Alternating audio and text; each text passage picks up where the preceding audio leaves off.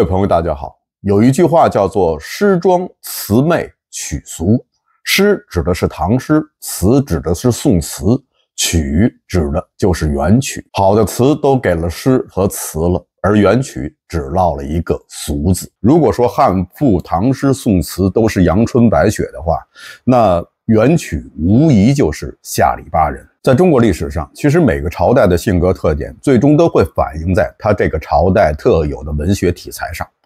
唐朝的热烈以及胸襟，反映在唐诗上，就是它的磅礴大气；而宋朝的隽永优雅，反映在宋词上，就是它的精致与细腻。那么元曲的俗，也一定与它所诞生的年代元朝有着分不开的关系。自元朝开始，中国文化中雅的那部分就变得越来越少，而更倾向于通俗化、市井化。其实呢，俗也不是坏事，俗本身是一个中性词，俗可以是通俗。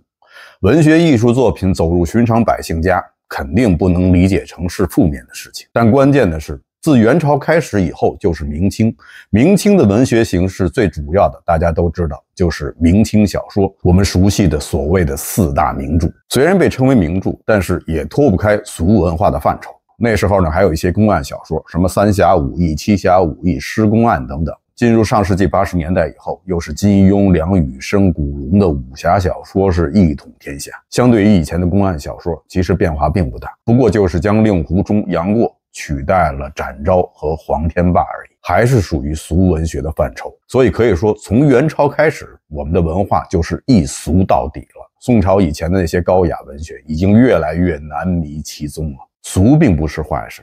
但是如果一俗到底，或者只有俗的话，那么我们就不禁要问：我们这样一直的俗下去，是我们愿意呢，还是我们已经雅不起来了？能够成就元朝俗的第一责任人，那肯定是元朝时期的那些文人。那么元朝那些时期的文人怎么了？人们说文人雅士，那么这些文人为什么不想做雅士，而愿意去写这些通俗的东西呢？元朝的文人和其他朝代的文人又有什么不一样？他们所处的年代，元朝当时是一种什么样的社会状况？元朝有没有打压过文人？元朝有没有过文字狱？元朝的那些文人们敢如实的反映当时的社会状况吗？元曲四大剧中有一部剧大家非常熟悉，叫。《窦娥冤》在关汉卿的笔下，他真的只是简单的描绘了一起冤案，还是想揭露更深层的社会黑暗面呢？在《窦娥冤》中，到底有多少隐而未发的意思呢？今天呢，就跟大家随便聊聊元朝时期的文人们。一说起元朝的文人，很多人就会想起那句话，叫“九儒十盖”，就是说呢，在元朝，人们将社会上的所有职业分成十等。分别是一官二吏三僧四道五医六工七匠八娼九儒十丐。儒生的地位是比乞丐强一点，但是还不如娼妓。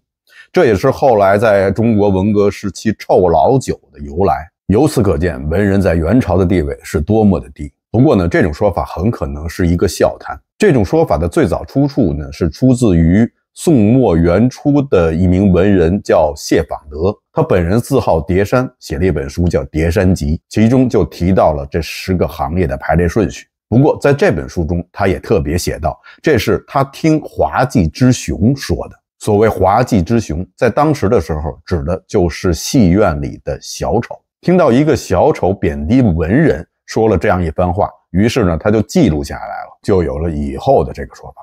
顺便说一下。滑稽在中国古代最早指的是一种酒器，到后来呢才引申成为幽默有趣的人。实际上啊，在元朝，读书人的地位呢并没有那么低。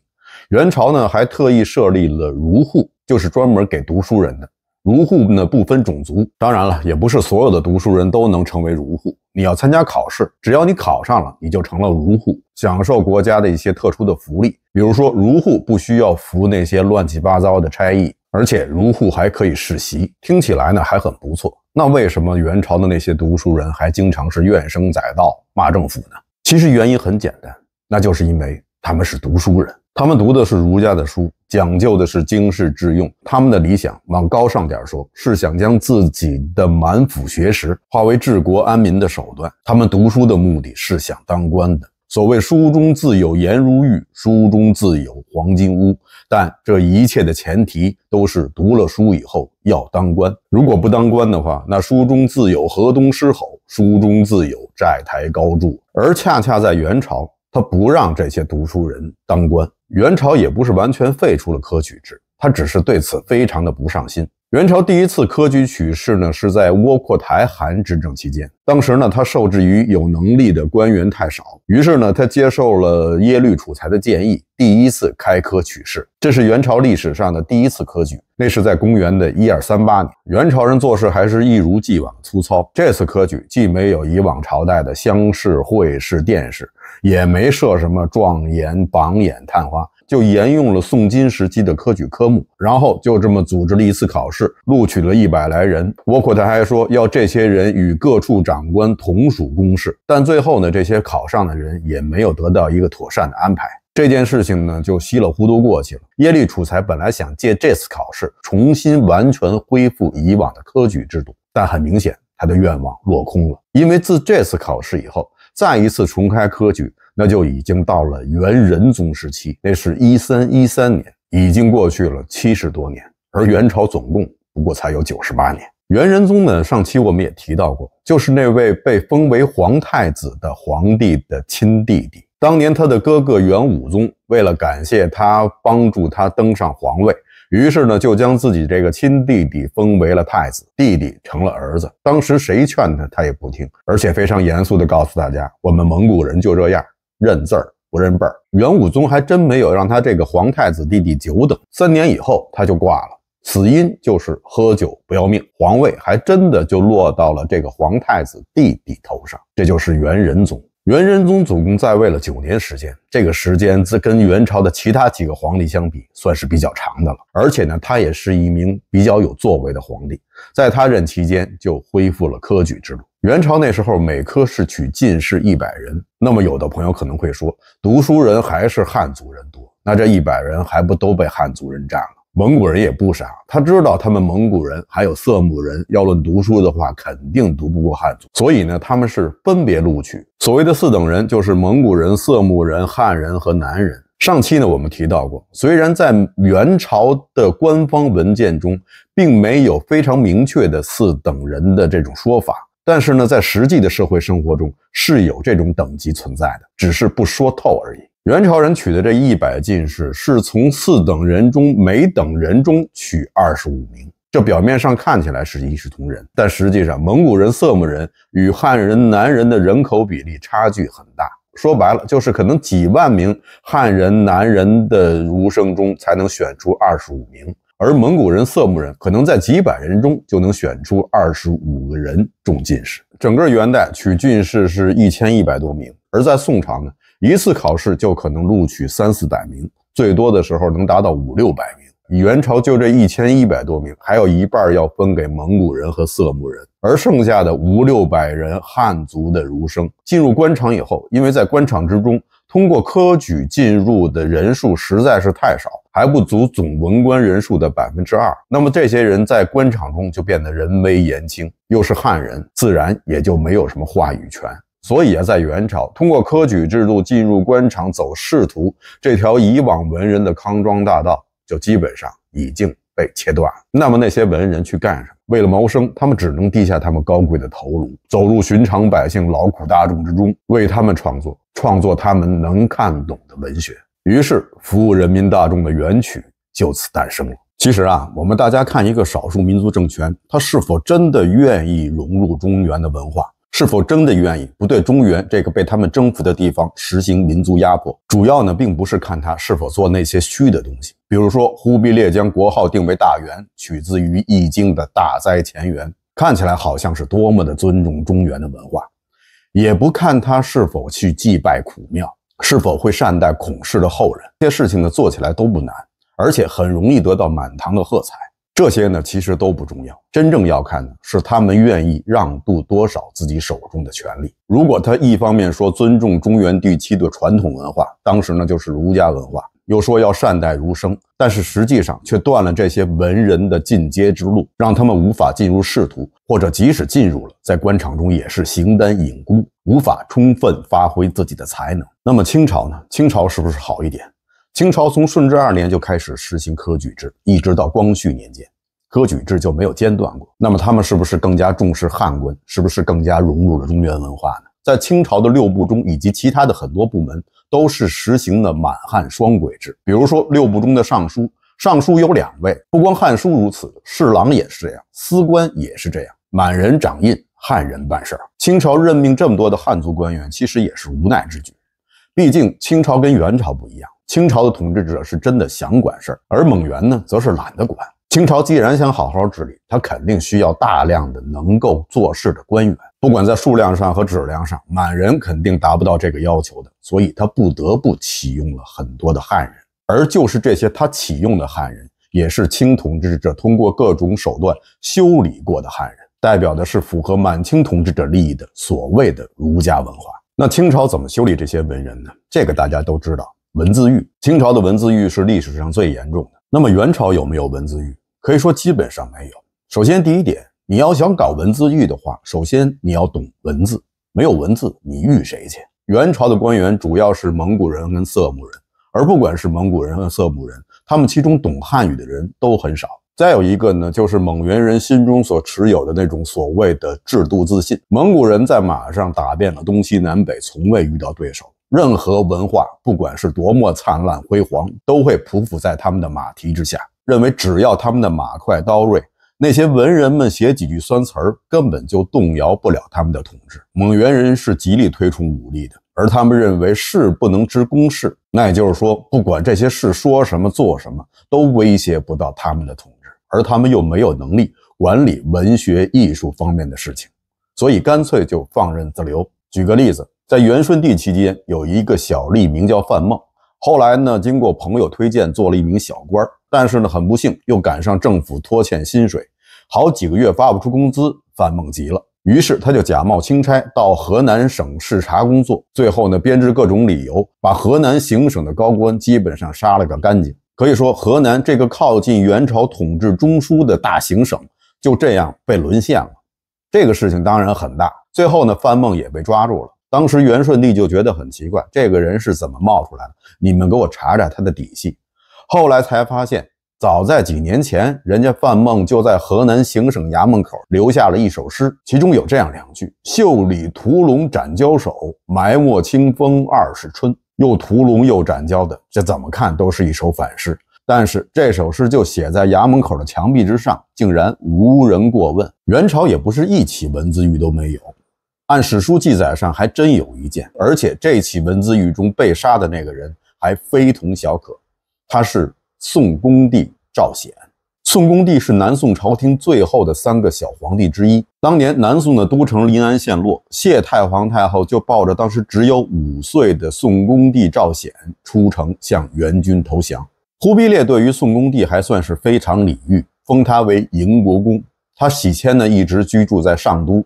后来呢，忽必烈觉得有些不妥，就让他去西藏，去那里去学习藏传佛教。宋恭帝自此就出家为僧。后来到了元英宗统治期间，赵显一时兴起，写了一首诗，说：“寄与临河镜，梅开几度花。黄金台上客，无复得还家。”有人呢就将这首诗向元统治者举报，说赵显有意煽动江南士人造反。当时的元英宗也不知道是哪根筋搭错了，一怒之下就让人杀了营国公赵显。据史书记载，杀之出白血烟。就是说，赵显死的时候流出来的鲜血是白颜色的，这叫流血成乳，是佛教历史中习见的一种说法，表示是受到了冤枉。下令杀死赵显的元英宗是刚才我们提到的元仁宗的儿子，他自幼受儒家思想的熏陶，他也被当时很多的儒生们寄予厚望。但没想到，元朝历史中这唯一的一起文字狱却是由他而起。很多人认为，元英宗之所以这样做，是冲动惹的祸。元英宗自己在杀死赵显以后也非常的后悔，而他本人确实也有易于冲动这个老毛病。元朝的文人们不能通过科举入仕，那么他们靠什么谋生呢？其实做什么的都有，有的呢是帮人抄抄写写卖字为生，有的呢是做教书先生，还有的人呢是做了政府中的一名小吏，伺候那些蒙古人或者是色目人。啊，顺便说一下，大家经常听到色目人，是不是指的就是眼睛有颜色的那些人呢？其实并不是，色目人是元朝时对那些西亚、中亚以及欧洲那些人的统称。色目指的是各色名目之人。基本上来说，在元朝，如果你不是蒙古人，不是汉人，不是男人，而且你还是人的话，那你肯定就是色目人。色目人的地位仅次于蒙古人。那么，为什么色目人比汉人、男人地位都高呢？其实，蒙古人划分等级是按照这些民族被征服的时间长短来划分的。蒙古建国以后就开始西征，所以最先征服的是西亚、中亚甚至欧洲的那些人。这些人被蒙古人征服的时间最久，被蒙古奴役的时间最长，所以蒙古人认为他们是最值得信任的。再其次呢，就是汉人，就是蒙古征服金朝时的那些汉人，包括契丹人和金人。而蒙古最后征服的王朝是南宋，所以男人的地位是最低的，是不被蒙古人信任的。色目人中也有很多著名的人物，比如说大家熟悉的郑和，他就是个色目人。郑和出生在云南的昆明，出生的时候还是在元朝时期。后来明军的副统帅蓝玉征服了云南，郑和被俘，被施予了宫刑，送给了当时的燕王朱棣。郑和原本姓马，有人说他是回族人。他的父亲呢，也是当时元朝在云南的高官贵族。他的正姓是朱棣赐给他的。那朱棣为什么不赐他国姓朱呢？这恐怕是与郑和的职业有关。大家知道，郑和是一名宦官，宦官呢是要断子绝孙的，所以用朱姓国姓显然是不太合适。那为什么要赐姓郑而不是其他姓氏呢？那是因为啊，郑和那时候还叫马和。他参与了朱棣发起的靖难之役，在郑村坝一役中是表现出色，率军击败了强敌，立下了奇功。战后，朱棣为了表彰他，就命人写了一个斗大的“郑”字赐给他，由此他就改姓为郑，改名叫郑和。郑村坝这个地方呢，现在就是北京东五环以外的东坝。除了以上的这些营生以外，元朝的文人们还以卖文为生。不过此时卖那些诗词歌赋已经没有人买了。买诗词歌赋的人，以前呢都是那些高官贵族和富商们。这些人在以往的朝代中都是有文化的，而现在呢是元朝，高高在上的那些人通常都是没文化的。所以再好的诗、再好的词也会无人问津。只有那些面向普通大众的元杂剧，倒是还有人愿意买。但是呢，这些人大部分都是生活在社会底层，有些人呢，甚至就是勾栏行院之人。所以由此可见，这些元杂剧作者们的生活状况不会很好。这些作者们也有自己的组织，类似于现在的作家协会，当时呢叫书会。书会中的作家叫才人，而我们大家熟悉的元曲大家关汉卿，就是当时玉京书会的才人之一。关汉卿绝对是属于被科举制度遗忘的那些文人。公元一二三八年，元朝第一次实行科举的时候，关汉卿只有十岁；而过了七十多年以后，元朝再一次恢复科举的时候，关汉卿已经是八十多岁了。所以，他一生与科举无缘，但他心里一直有着一个梦，一个科举入仕之梦。所以，这也就不奇怪，为什么在关汉卿的很多作品中。很多主人公最终命运的转变是高中了状元，其实那不过是关汉卿们在自己的作品中为自己圆一个梦，而他们笔下那些潦倒落魄的儒生形象，才真是元朝统治下知识分子的真实境况。而高中状元为民申冤的情节，更像是元代文人们的一场集体意淫。就像弗洛伊德说的那样，一个幸福的人是不需要幻想的。在关汉卿的著名剧作《窦娥冤》中，窦娥的父亲窦天章就是这样一个形象。他本来是一个落魄的书生，还向当时放高利贷的蔡婆婆借了高利贷，最后因为还不起钱，无奈之下只好将自己的小女儿窦娥卖给了蔡婆婆。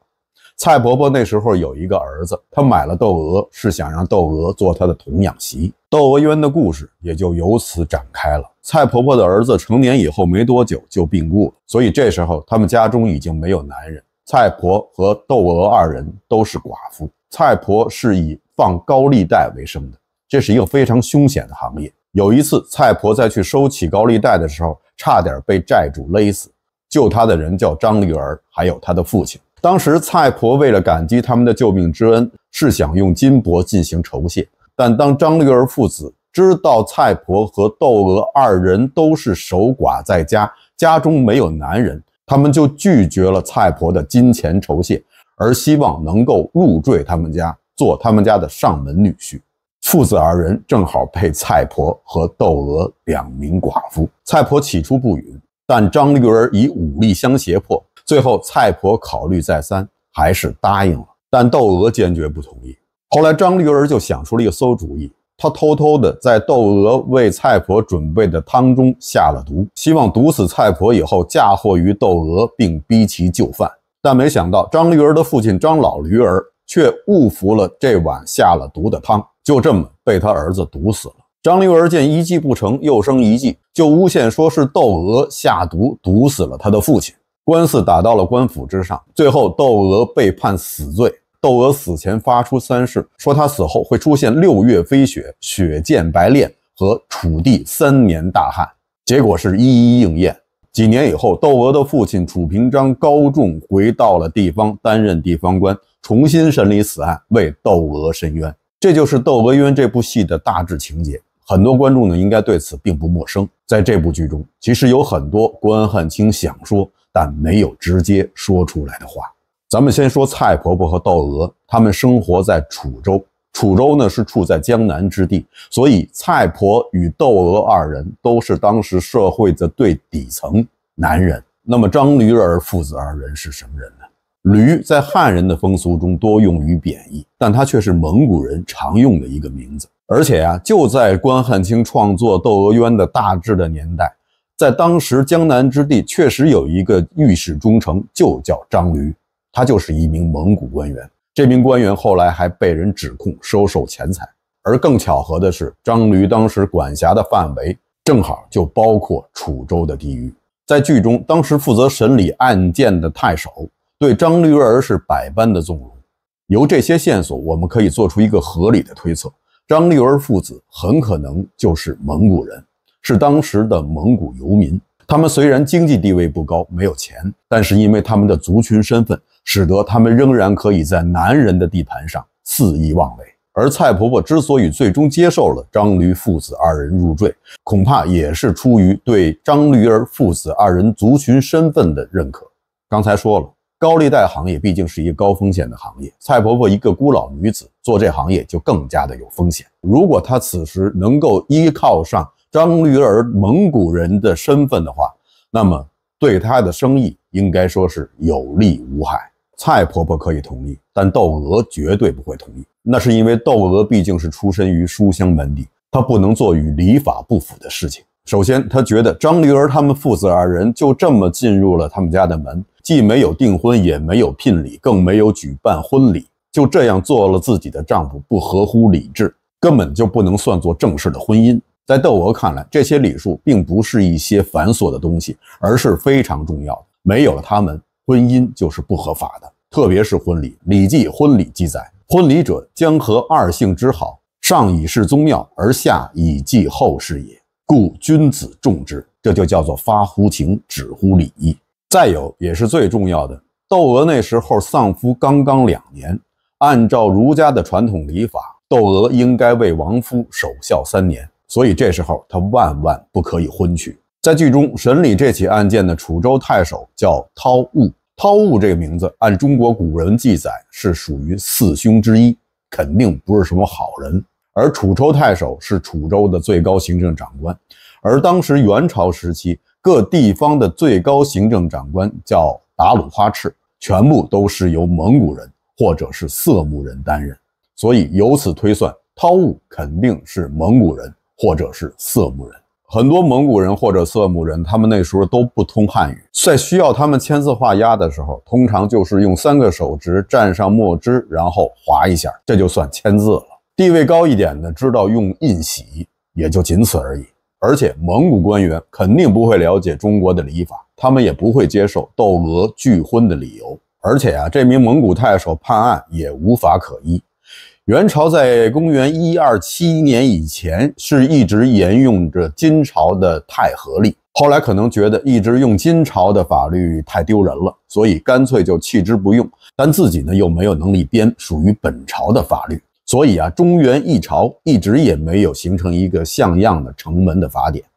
以后的审判多是依靠以往的判决的惯例来进行。所以啊，有人说元朝是中国历史上少有的任意不认法的年代。窦娥在死前发出誓愿。说他死后将雪见白练，六月飞雪和大旱三年。其中六月飞雪针对的是天，雪见白练针对的是人，而大旱三年则针对的是地。